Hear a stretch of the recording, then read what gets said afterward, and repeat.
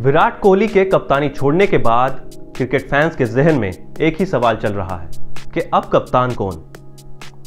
Social media के अलग अलग प्लेटफॉर्म्स पर कई तरह के नामों को लेकर चर्चाएँ चल रही हैं। लेकिन बीसीसीआई ने आधिकारिक तौर पर अभी तक कोई ऐलान नहीं किया है। आज हम इस वीडियो में तीन बड़े कंटेंडर्स के बारे में बात करने वाले हैं। तो चलिए शुरुआत करते हैं। मैं हूँ आपका दोस्त एंड होस्ट अक्षित वैद्यान और आप देख रहे हैं Cric Today TV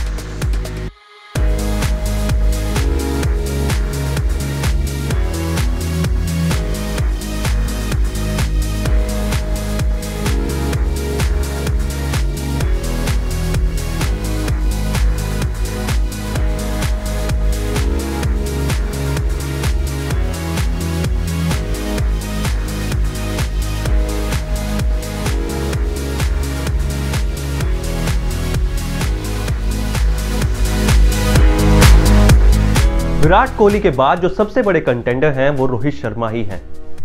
कोहली के टी ट्वेंटी की कप्तानी छोड़ने के बाद रोहित शर्मा को टी ट्वेंटी का कप्तान बनाया गया था। वहीं ओडीआई की कप्तानी छीनकर रोहित शर्मा को दे दी गई थी।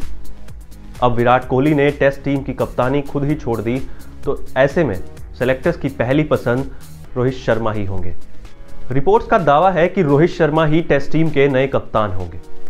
दरअसल, रोहित शर्मा के पास एक्सपीरियंस भी है और वो बाकी दोनों फॉर्मेट में भी टीम इंडिया की कप्तानी कर रहे हैं। तो ऐसे में, रोहित शर्मा का पलड़ा काफ़ी भारी नज़र आता है।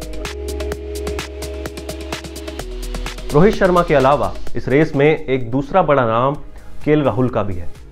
केल राहुल इस समय अपनी बेहतरीन फॉर्म में चल रहे हैं। साउथ अफ्रीका के खिलाफ पहले टेस्ट मैच में उन्होंने शानदार शतक लगाया था तो वहीं दूसरे टेस्ट मैच में उन्होंने कप्तानी भी की थी। जी हाँ दूसरे टेस्ट मैच में विराट कोहली चोटिल हो गए थे, जिसके कारण उप कप्तान के राहुल को टीम की कमान सौंपी गई। हालाँकि वो टेस्ट मैच भारतीय टीम हार गई थी, लेकिन माना जा रहा है कि अगर रोहित शर्मा कप्तान नहीं बनते हैं तो केएल राहुल के नाम पर भी चर्चा हो सकती है। एक और कंटेंडर हैं जिनके नाम पर चर्चा हो सकती है, और वो है ऋषभ पंत। जी हाँ ऋषभ पंत ने आईपीएल में दिल्ली कैपिटल्स के कप्तान रहते हुए शानदार प्रदर्शन किया है। और वो युवा भी हैं। वो टीम को आगे ले जाने की ताकत भी रखते हैं। तो ऐसे में अगर पहले दो खिलाड़ियों को कप्तान नहीं बनाया जाता तो ऋषभ पंत बीसीसीआई के पास एक बड़ा चेहरा है। इन तीनों खिलाड़ियों के अलावा एक और खिलाड़ी के नाम की चर्चाएँ भी जोरों पर हैं। जी हाँ वो है जसप्रीत बुमराह। हालाँकि नहीं लगता कि बीसीसीआई जसप्रीत बुमराह के नाम पर चर्चा करेगा। क्योंकि जसप्रीत बुमराह के पास कप्तानी का कोई ऐसा खास एक्सपीरियंस है नहीं। बाकी सब तो सेलेक्टर्स पर ही डिपेंड करता है और देखना यह होगा कि सेलेक्टर्स किसका चुनाव करते हैं। लेकिन आपके अकॉर्डिंग टीम इंडिया का कप्तान किसे होना चाहिए, आप हमें ज़रूर बताइए। कमेंट सेक्शन में जाकर अपना जवाब दीजिए और अगर आपको यह वीडियो पसंद आया तो आप इसे लाइक और शेयर कीजिए।